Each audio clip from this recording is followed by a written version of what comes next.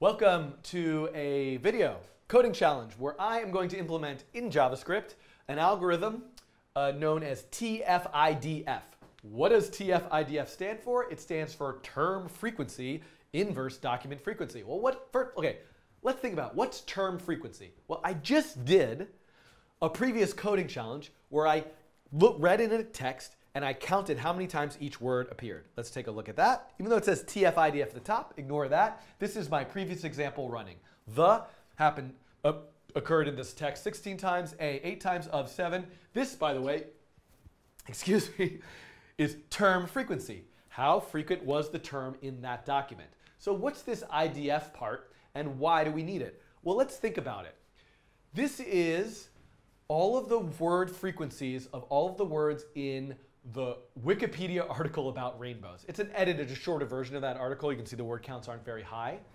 What if what I wanted to do was extract or automatically, through some algorithm, determine key words associated with this article? Well, the first way I could think to do that would be, hmm, the words that appear most frequent frequently, those must be important words for this article. So I know what the key words are. They're the, a, of, in, and, and. Oh, and by. You can see why this is a problem. Those are sort of meaningless words. Now, they're quite meaningful in text analysis if you look at James Pennebaker's research. Check the description for a link to book Secret Life of Pronouns. That's another topic. I'll come back to that another time. But in, for what I'm doing, trying to get key word extraction, those are not meaningful words. Rainbow, however, is a meaningful word. Now, if you think about it, uh, if I were to look at, you know, unicorn is probably a bad example, but if I were look, to look at the Wikipedia page for mango or for blueberry, I probably wouldn't find the word rainbow in it that often. So while I would find the words the, a, of, and in. So words that might appear frequently in one document, but not frequently amongst a corpus of other documents, might be unique or important to that particular document. And that's what IDF is. It's inverse document frequency, meaning term frequency inverse document frequency, meaning a word's score equals the term frequency, let's say it appears 100 times, multiplied by inverse document frequency, meaning the more frequent it is in other documents, the lower the score should be. So how do we calculate that? Well, I could say, let's say it appears in 10 documents. I could just say 1 divided by 10 instead of 10. So 1 divided by the number of documents it appears in. And you can see if it's only in one document, right, I'm going to get a score of 100 or I'm going to get a score of 10. So actually, in the technical definition of TF-IDF, the number one doesn't go here, but actually the total number of documents. So let's say we're actually examining, uh, um, the corpus is 50 documents. Uh, then you could see here, the, you know, we're kind of going to get similar, this, this is mostly equivalent score relative, but this is the technical um, definition. So 100 times the number of documents divided by the number of documents it appeared in. So this now I would get a score of uh, 500, and here I would get a score of 5,000. Now, this is also not exactly, if you look up, if you keep reading that Wikipedia page, the technical definition of the score of TF-IDF. There's one step more here, which is that this is perhaps weighting it way too strongly. In order to reduce the effect that the document count has on the score, logarithmic scale is applied. So the log function is applied. So you could play around with this formula and be creative and come up with your own twist on what you're actually looking for. But under the technical definition under Wiki, on Wikipedia, you'll see that the, the log function is applied. Now, why is that applied? So how, and how does logarithmic scale work? Um, I'm going to, in this video, in the description, link you to a, a, really great Khan Academy video that describes logarithmic scale in detail, or maybe I'll come back and make my own video about that. But I'm going to move on and just have you understand it as a way of changing the, of reducing the effect that the document frequency has, and um, which can overwhelm the score um, if you don't apply this logarithmic scale. Okay, so this is the idea of term frequency inverse document frequency. Instead of, now what I want to do is have a program that doesn't just show me the counts of each word, but shows me this TF-IDF score. So the question for you is like, well, what are you, why are you using this and what's your corpus? So you might think about, well, let me look at, you know, every single newspaper, uh, pick a newspaper and every, uh, have a huge corpus of all newspaper articles or a Wikipedia article and all Wikipedia articles. You kind of, you want a big data set to be able to have this produce meaningful values. I'm going to demonstrate this to you with a small data set. Look at something that works, but obviously it'll be a, you know, a little bit flawed based on the small data set. Let me just show you the data set really quickly. So I'm, this is the previous word counting example running verbatim, but I'm going to alter the code, and instead what I'm going to use is here under Files, I'm going to use these particular um, these, uh, these text files. And these are just text files that are uh, short paragraphs from Wikipedia, like the fish, a fish article, fade key, I don't know where I got this, rainbow.txt, sports.txt, test, um, and tree.txt. So I'm just going to pick, I'm just going to use tree, sports, rainbow, and fish. Okay? So what I want to add in my, um, sorry, what I want to add in this particular example, I'm going to go back to the code, is I want to create uh, an array of files, eclipse.txt, uh, fish, fish.txt, uh, rainbow.txt, and um, and actually I'm going to do this in sort of a silly way. I know I'm going to no rainbow.txt. I'm going to do that. And um, what was one of the other ones? Uh, let's try sports.txt. I don't know why I picked these. Some at one point I picked these. Okay, so um, so these are the files that I'm going to use. So I can't just load only these files. I need to load all of them. So how do I do that? Ugh. I want this to be an array. I want that raw text to be an array. And I'm going to preload all of them. So I'm going to say for var i equals 0, i is less than files.length, i plus plus. I'm going to say uh, text index i equals load strings files and then plus the files index, whoops, plus no quotes there, files index i. So this is me now loading all of those files into an array. And then what I want to do here is, again, all words. I need all words not to be a single document, I'm loading a bunch of documents. And I'm, by the way, I'm doing this in quick and dirty fashion to demonstrate TF-IDF. If I were really building this out, and I'll show you a different example, I have to be a bit more thoughtful about how I'm loading all these files and maybe thinking of a more sophisticated data structure to keep track of all this data, but this will work for now. So I want to, this is a good first pass, I think. So I want to loop through all of the things I loaded, and I want to create an all words array and say all words index i join. Okay? So that's good enough for right now. Because what I want to do is I want to pick, what I'm going to do arbitrarily is I'm going to say, let's, let's use rainbow. I'm going to put rainbow first. I'm just going to do the TF IDF score for the first article as compared to all the articles. Again, you would want a much larger data set. You probably want to have many articles with longer text in them. And you might want to build something which allows you to click on different articles and compare that one to all of them. But I'm going to make a simple introduction to this idea by comparing the first article to all the other articles. So now let's just make sure my term frequency is working. So instead of splitting all words, I want to split all words index 0. And I want to uh, still count and count all of those and, and visualize that count. So everything should work now where I, whoa, something went a little goofy here. Because why did I get such higher, yeah, I'm, I'm getting words from others. So let's see, what did I miss here? Ah, oh, there we go, I see the problem. This should say txt index i, right? I don't want, I joined all the words from all the articles, which I don't want to do. I need to still have some way of distinguishing between articles. If I was just doing a concordance across all of them, that would be fine, but I need to keep that, dis that distinction. So let me make sure, and let me just make this a global variable for make debugging a little bit easier, even though I don't necessarily need to. Um, and that's, uh, yeah. So that I, I, can make this an array. and get rid of this here. So let me run this again. We can see here's the raw data from the files. And here is that array. Now we can see, uh, yep, we can see, uh, uh, hold on. All, all words, I still think I might have a mistake in here. Dot length. Nope, four, we're fine. All words index zero is rainbow. All words index one is eclipse. Okay, so you can see these are short, so this is good. I now have all those articles in an array of strings. And you can see here, here are the counts for the rainbow article. Again, these numbers are really small, so my results aren't going to be so great, but let's see how it goes. So here's the big difference. This is an incredibly important point here. In my previous videos about word counting, we created an associative array.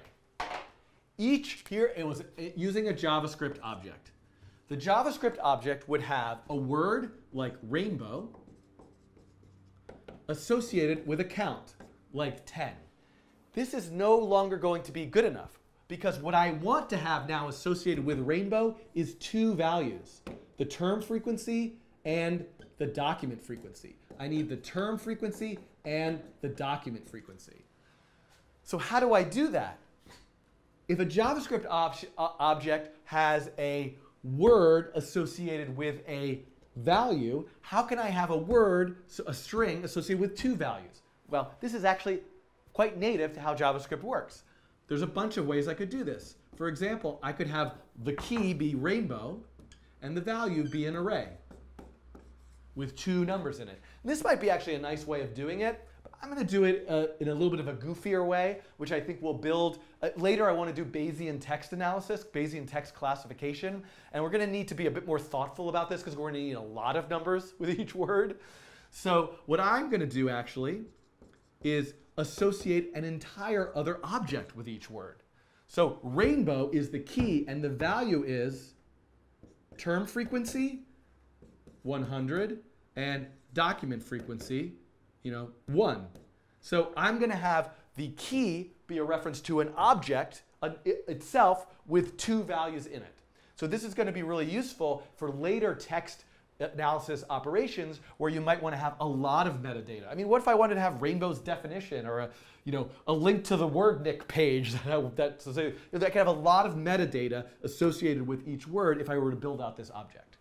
Okay, so here we come back. So I want to modify the way that this works, right? Whenever I encounter a new word, I want to actually not just set the value to 1, but I want to create an object with a term frequency, a term frequency of 1 and a document frequency of, well, let's not do the document frequency yet, I think. So I want to put it in it. I want to. Uh, I mean, the document frequency is going to go in there, but I want to make an object with term frequency of one.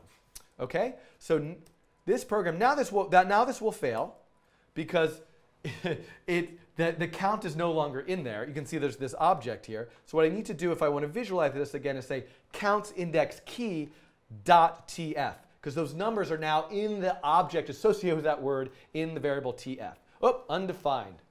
Interesting. Oh, why is that? Well, here we go. Because I need to increase the term frequency here, right? Not just increase the value by one. Okay, so now, now we're back to where we started. Ah, sorting is also broken because I'm comparing the term frequencies. And you can see now we're back to where we started. So now I have an object, and what I can actually do is figure out document frequency now. Okay, so let's add that in. So what I want to do, and let's actually, let's count it. You know what? Um, hmm, I, there's a bunch of different ways we could do this. So I'm trying to think what makes the most sense. I'm going to leave it as is.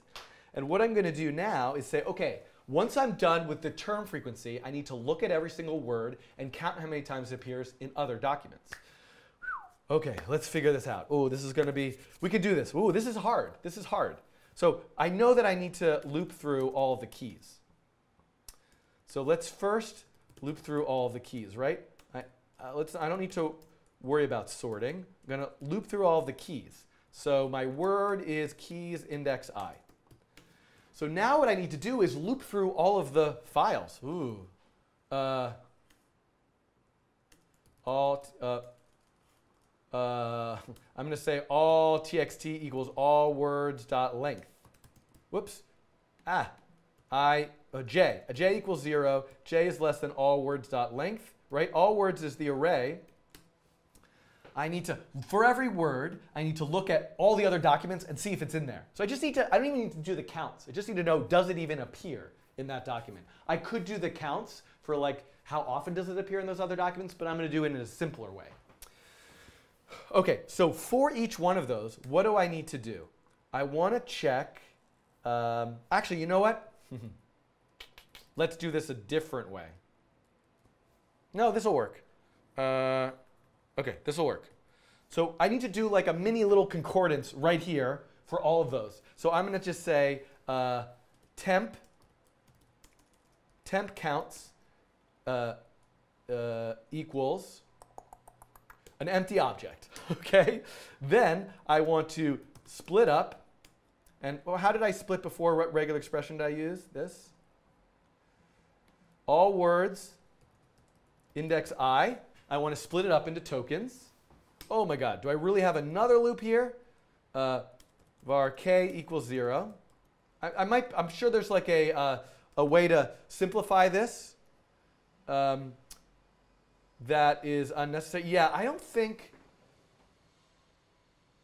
Yeah, there's a. I'm going to be able to make this more efficient, but I'm going to keep going with this. I don't think I need the outer loop. I'm thinking about this, but let's keep going. K is less than uh, tokens dot length. Okay, I want to go through all of the tokens, and if uh, temp counts uh, tokens index i is undefined.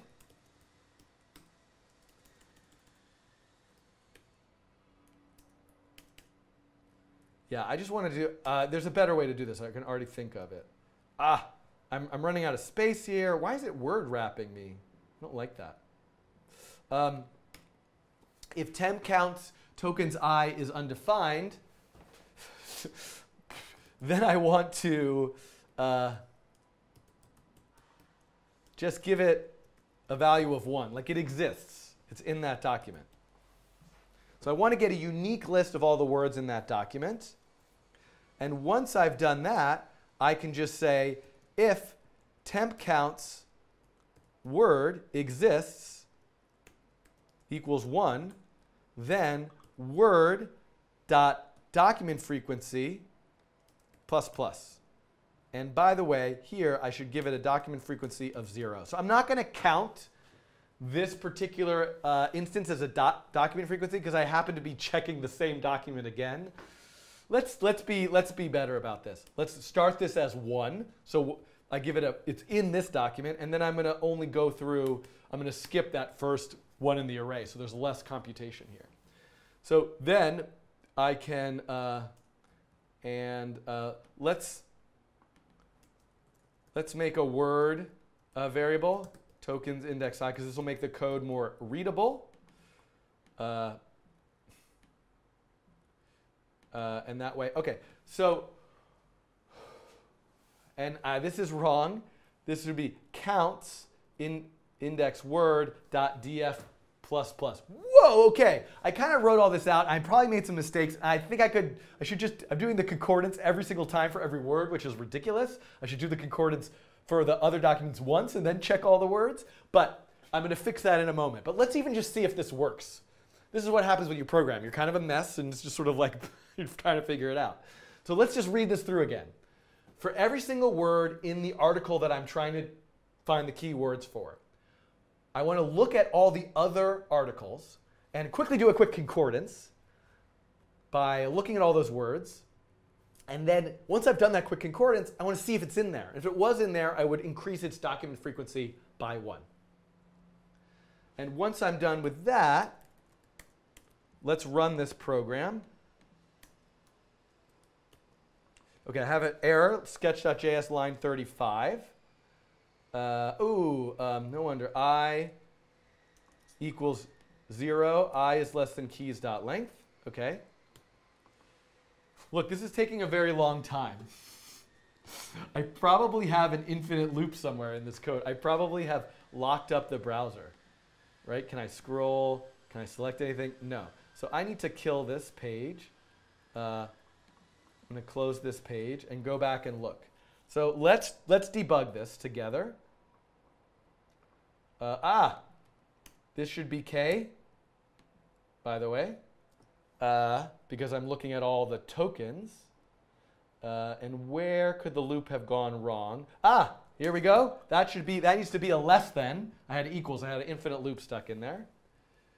I'm gonna kill this page. Uh, okay, let's come back, run this again. Oh, still got a problem. Let's look at this some more. Infinite loop anywhere? Okay, I'm back. I think there was actually a caching issue when I had that infinite loop. Um, so I, have now, I just restarted the, the web server that I'm running. And so I now have this running again, but I still don't know if I fixed the problem. Ah, okay, cannot read property split of undefined, line 40. Uh, why don't I have undefined, why is, uh, uh, why is that? Oh, J, this should be J. That's really important. That has to be J, it's part of that loop. Caught that. Okay, things are still good. And now this is where I'm doing the quick little concordance. Things are still working. I don't know what went wrong there, but I think I just had the infinite loop.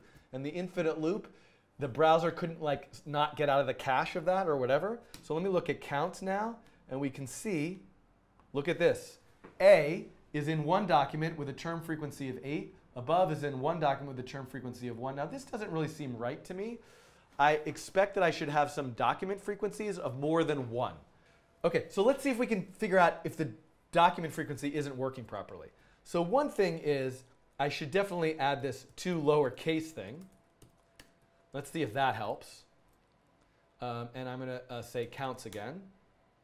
And you know, A, we should definitely, A should be in more than one document. And just to be sure about that, um, let's go to the files, Eclipse, uh, and I'm going to add AAA just to be sure about that, I'm going to add a couple instances of A, just in case it, it wasn't.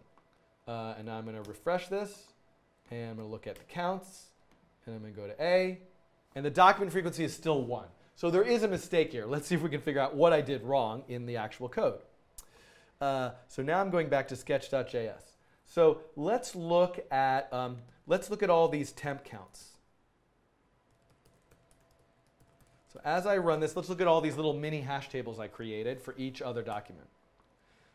One true, two true, one true, two. So this, this looks right. A is true. So I'm definitely getting, uh, why did I put, the value is true. Oh, I said true, and then I checked if it's equal to one. So that has to match, of course. I want to know, I, I put true to keep track of it's in the document, and so I can just check if that evaluates to true or false. So that, that's clearly the problem. Uh, and I can, I can uh, take out this console.log, and I can uh, look at the counts again, and I can now say, A, document frequency is still 1. Okay, so that doesn't seem like it makes sense. Oh boy, I see the problem now. it's very obvious, which is that I used word to keep track of the word that I'm currently trying to determine the document frequency. And then later in the inner loop, I kind of like, ah, I made a different word variable. And in JavaScript, you can't really have these like local variables. They clash. Um, everything, uh, this, was, this is a total mess. I can't have declare a new variable in a sort of like local or more local scope than, the, than another variable with the same name. So actually, I think I just want to get rid of the use of, I'm just gonna, I'm just gonna call this W. That'll solve this problem. So I'm just gonna use W down here so that when I'm down here, I'm, I'm referring to the correct word. Now, come on everybody. Are you with me? Let's look at the counts. And let's look at A.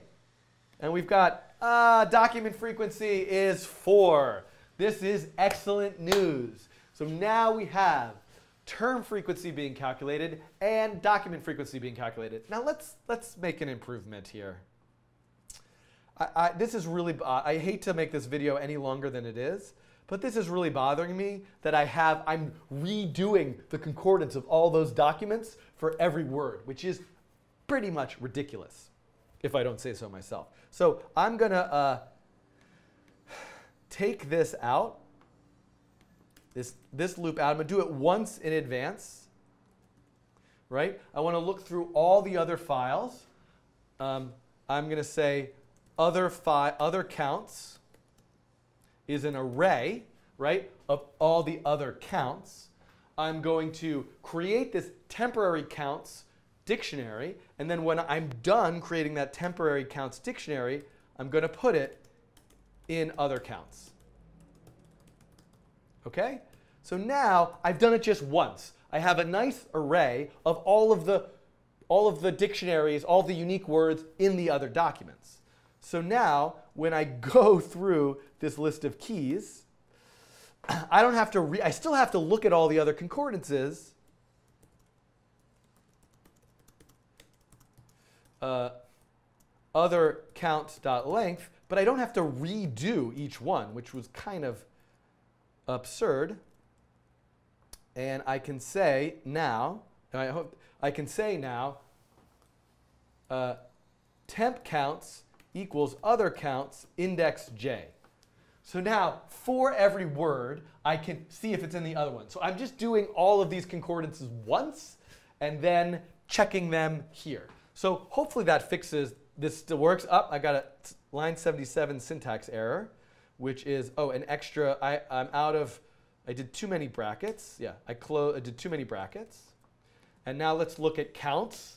And let's hope that I'm still seeing the right, yes. So I just made this enormously more efficient, which is a really good thing, thankfully. Okay, now we can actually, now we can actually do the, um, the TF-IDF score. So the next thing I can do is once again, look at all the keys, and I can calculate the score. So how do I do that? I can say, um, for I can say, give me my, um, uh, I can say, give me the um, TF, the, the word object. I'm trying to think of, give, I'm just going to say value is uh, counts. And this should really be TF. I, I should change this variable name from counts. Counts word. Actually, I'm just going to, uh, uh, right? Uh, oh, this is so hard to think of good variable names on the fly, but val is like the worst, right? So I'm just going to say word up, word data.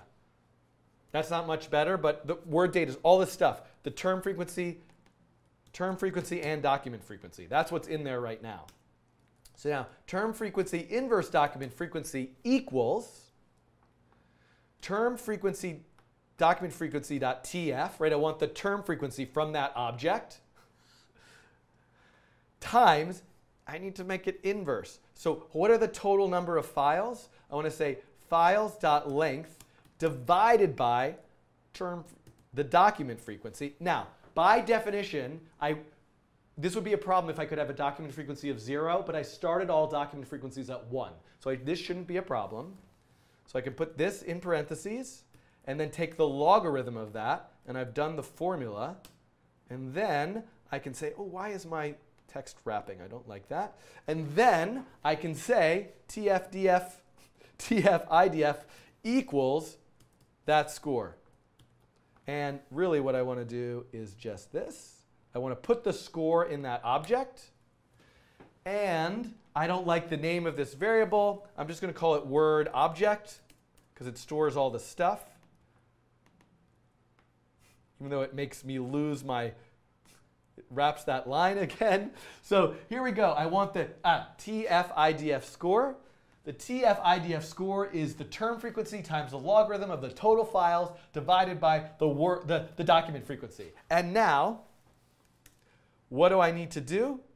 I can just go back down here and say, hey, guess what? Remember when I sorted that array? I don't want to sort by the term frequency. I want to sort, by that inverse document frequency score and I want to display that uh, TF IDF score. And let's see what happens with uh, rainbows.txt. If I run this, you can see, look at this, perfect. Arc, rainbow, light, cause. So we're getting higher numbers for words that are associated with rainbow. And a little hack that I can do just to test something else is I can, you know, let's try sports.txt instead. If whatever I put first in this array will be checked or conduct unsportsmanlike games such. So again, I'm not getting or is a bit of an anomaly here because I have such a small data set. So or appears very frequently here. But if I had a larger data set, I would get more accurate results. Okay, so what can you do with this? This is a bit of a mess of a video, but I have now working code. Hopefully you learned something or you got something out of it. A couple things I'll mention. One is I have a more thoughtfully designed example, which again I'll link to in this video, but you can find on the A to Z website where if I go here, I can actually drag a whole bunch of files in, drag and drop them, and it'll do TF-IDF for all of them. You can see what it does is it actually makes a bunch of clickable links. So, you know, I could click on, let's say if I click on fish.txt, I can see now I'm getting, um, I think it's like, I don't know why, but the, weird, let's look at test.txt or rainbow.txt. We got, we got the same results. Ah, so I did something different with the math formula. I'll have to examine that. But um, you can see I'm getting basically the same results. So you can look at this example if you want a more thoughtfully put together example that allows you to try a bunch of different files and drag and drop them. But ultimately I would say to you is, number one, what's your corpus of text? What's a unique and interesting corpus of text that's meaningful to you that you might want to try? And number two is how might you present these results in a more creative fashion? You know, what happens if you did this to all of your emails? Certain emails, one email versus all of your other emails. That's a corpus. Or, and how might you visualize that information with color, with shapes, with drawing, or simply in some interactive way to allow a user to play around with this idea? So if you make anything, try anything, uh, let me know, and I would love. Uh, uh, uh, love to love to see it. So write in the comments or uh, share with me on Twitter at Shiffman, and uh, see you soon.